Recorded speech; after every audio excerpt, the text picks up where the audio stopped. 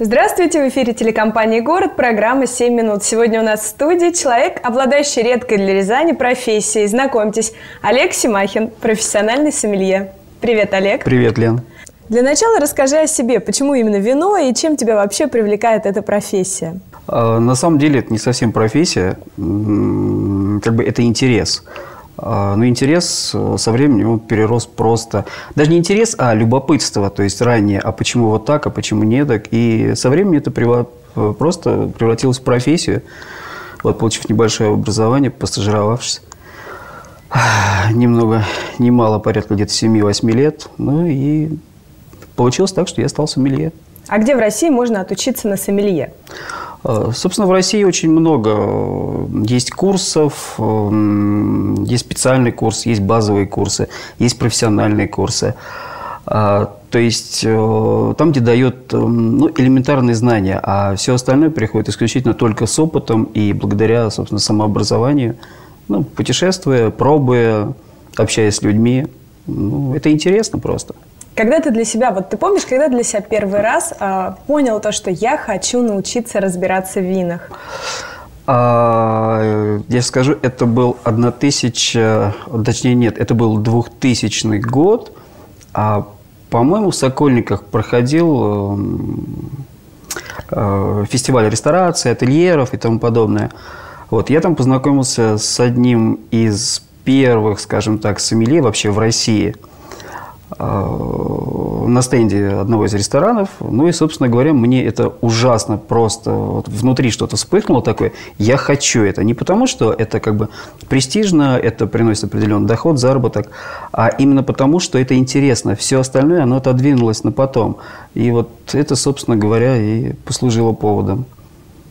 Мне известно о существовании некой школы, где ты преподаешь. Ну, это не совсем школа, это, скажем так, клуб любителей из, из числа моих знакомых, э, которые просто приходят, э, ну, мы собираемся так, кто-то что-то узнал, я где-то что-то поправляю, и, собственно говоря, Сложного в этом ничего нет. Просто нужно иметь желание и просто охоту. И обладать небольшим чувством вкуса, элементарного вкуса. Ну, хотя бы э, понять, в чем отличие, конструктивное отличие белого вина от красного вина. И все пойдет дальше. Ну и знание сортов винограда. А их порядка, ну, не менее 10 тысяч. Сомелье, которые могут вслепую угадать э, сорт вина и место, провинцию, где оно было сделано, хоть легенды, наверное, хоть раз слышал каждый. Это трюк какой-то или действительно возможно? Нет, на самом деле это действительно возможно, э, но для этого нужно иметь особый дар, но он дается от природы. Какие-то навыки, они не позволят определить, скажем так, э, вино, скажем, отличить э, одно шато от другого, это знание теруаров, это пробы этого вина. Не каждому, собственно говоря, это дано попробовать, не получается. То есть, но это не трюк. А в большинстве своем отличить вина, скажем, того же самого юга Франции, Бордо от Бургундии, это очень просто. Зная, опять-таки, вот эти элементарные навыки по а, специфике сортов винограда.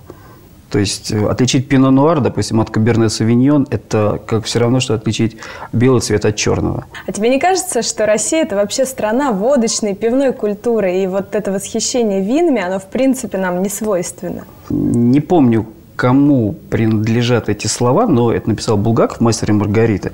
Статистика самая лживая и тому подобная вещь. Э, я думаю, что это все-таки надумано, Э, в большей степени. На самом деле интерес к вину э, у людей, не скажем, что с большим достатком, даже ну, со средним и даже с низким достатком, больше интерес к вину идет, нежели чем к пиву и к водке. То есть водка, да, это традиционный напиток пива. Надеюсь, все-таки прошел этот бум по пиву. И слава богу, что наше законодательство, оно определило роль в обществе пива, особенно того пива, которое мы видим на прилавках. А вино – это, да, не совсем доступный продукт, но а, вино все-таки это культовая вещь. А, а если говорить о человеческой истории, то на протяжении всей истории человечества прежде было вино. А в России вообще возможно возделывать виноградники так, чтобы они пользовались популярностью? Да, и практика существует. Краснодарский край, Рост, Цемлянск. И вот шикарные вина. И очень много гаражных вин, то есть те вина, которые мы не увидим на прилавках, а просто делаются под заказ. Великолепные сорта. Это цемлянский сорт, это ой, красностоп. Шикарные вина по соотношению цены и качества. Не сказать, что это достойный, достойный конкурент, но это честные вина за свои деньги, и человек получает те же удовольствия, что и... Ну, конечно, если он не пьет бренды там или марки. А какие вина вообще сейчас пользуются наибольшей популярностью? А у вина, собственно говоря, ну, опять-таки, дань традиции, дань традиции, и она не безосновательная, это все-таки красные вина вот именно сейчас. Почему? Потому что, ну, железо, повышение гемоглобина, вот, танины, то есть это вина, которые греют, то есть они дают больше насыщения за счет того, что в них содержится просто танин.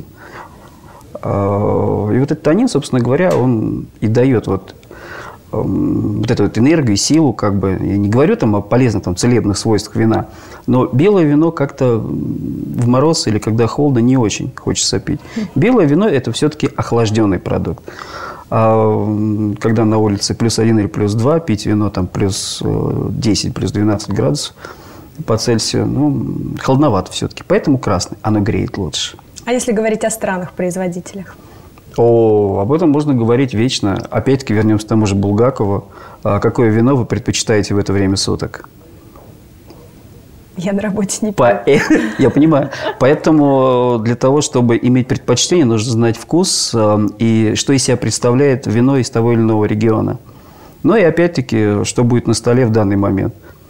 Дай, пожалуйста, совет дилетанту, как отличить хорошую винную карту от плохой. Если мы заходим в ресторан, э, если это действительно ресторан, пусть даже кафе, э, где хорошая кухня, открывая винную карту, мы видим вина, которые продаются в супермаркетах просто, я считаю, что это плохая винная карта.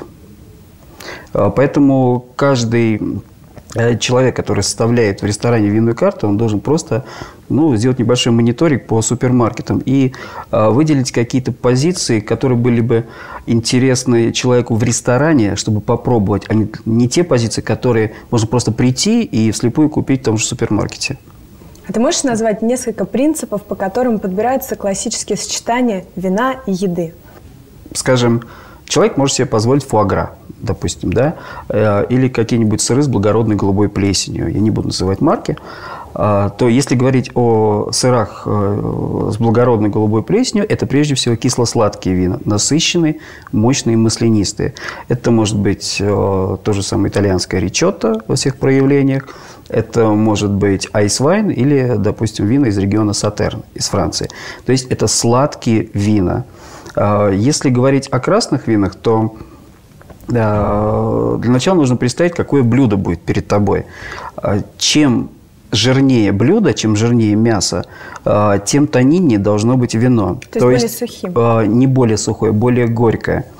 Понятие сухое для вина, оно относительно все формирует именно букет. Олег, мне кажется, у тебя очень творческая профессия, и как любого творческого человека я не могу тебя не спросить о дальнейших планах. Есть какие-то перспективы у человека, обладающего такой профессией в нашем городе?